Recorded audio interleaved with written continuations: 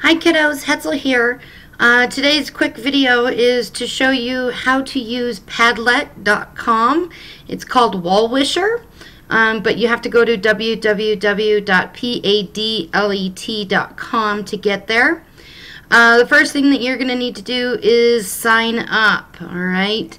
Uh, again, I try to keep it easy. Use your student ID at jeffcoschools.us and use your birth date for your password. Okay. Now I already have an account, so I'm just going to log into mine.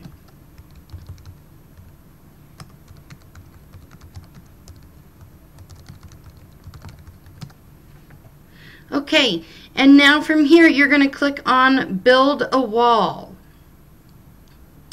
Alright, now if you double click anywhere in here, you're going to get your name slash post title. Write something.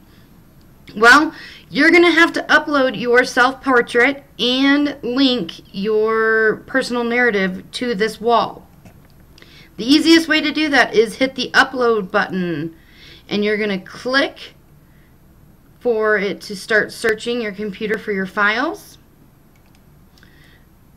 Mine is down here under Ribbit. And you will see that it's now uploading my self-portrait. It looks small, but when you click on it, it will get bigger. Okay? Alright, the second thing you need to do is double click again. And I'm going to move this just to be kind of up at the same level as this one. And this time, we're going to go to link.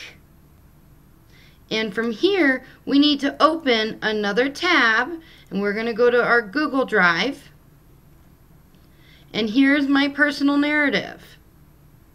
I'm going to take this link, Control C, to copy it, and then I'm going to go back into my wall wisher and paste it.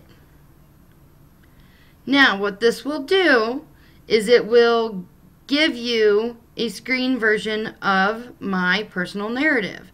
And again, once you click on it, it will get bigger. Okay? Now, I'm going to just kind of put these together.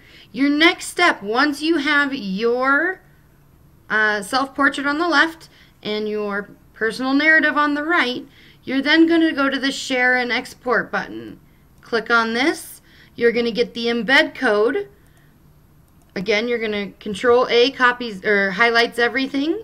Control C copies it.